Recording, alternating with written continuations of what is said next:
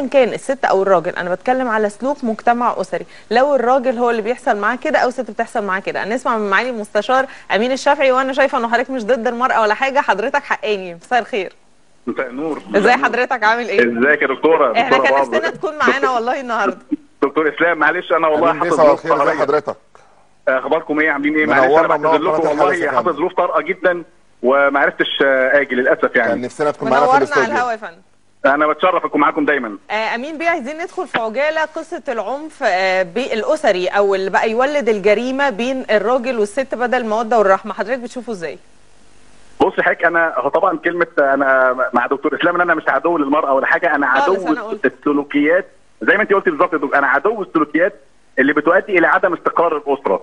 أمين بيه ملقبين حضرتك على الفيسبوك وحضرتك تعلم هذا الكلام إن هم ملقبين حضرتك بعدو المرأة. قول لنا ليه لا. المقولة دي أطلقت على حضرتك لا أنا مش عدو المراه أنا عدو أنا عدو عدم الاستقرار تمام أنا أنا عدو كلنا. عدم الاستقرار. والاستغلال طيب قولي حضرتك شايف المرحلة اللي إحنا فيها من جرائم قتل بين الزوج والزوجة شايفها إزاي وإيه أسبابها بصوا حضراتكم آه، أنا عايز أقول لكم حاجة مهمة جدا جدا جدا إن آه، أهم أسباب هذه الجرائم سواء بين الزوج أو بين الزوجة إن الزوج له مجموعة من العراقيل بتخليه مش بيعرف ينهي العلاقة الزوجية. يعني النهارده الطلاق بقى شبه مستحيل بالنسبة للراجل.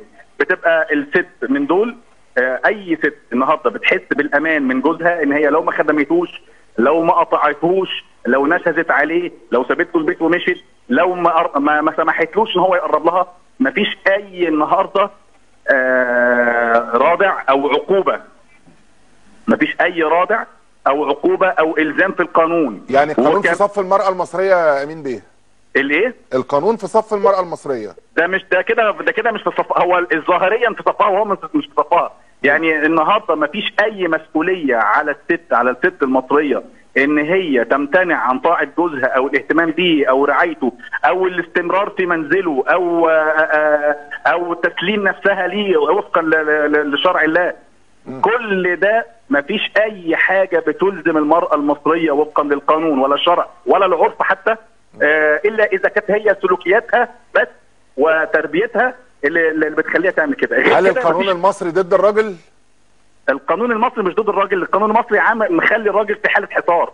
القانون المصري عامل الراجل في حالة حصار وأنا بأزعم أن القانون القانون الأسرة آه، بيمارس التمييز والإضطهاد ضد والعنصرية ضد الرجل بشكل واضح ده وفج مش من جدا. الراجل ده مش من من تصرفات الرجل مع المرأة ومع إن هو بيحب تصرفات الرجل النهارده تصرفات الرجل النهارده مشوهة لسبب مهم جدا. تصرفات تصرفات تصرفات الرجل مشوهة جدا النهارده لأن الراجل مش متساب له أي آلية علشان يحافظ على بيته أو آه أو يخلي تاريخه مراته يا أمين بيه.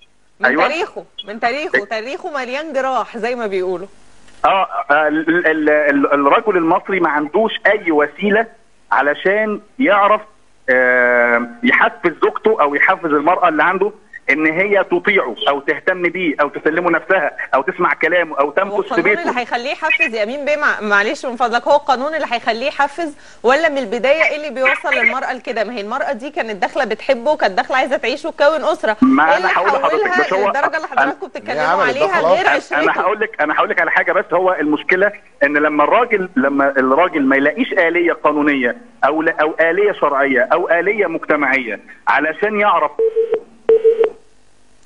الخط قطع هنعود الاتصال بحضرتك تاني بس أنا عايزة أقول حاجة إنه ليه الراجل محتاج الآلية القانونية اللي تخلي مراته تسمع كلامه؟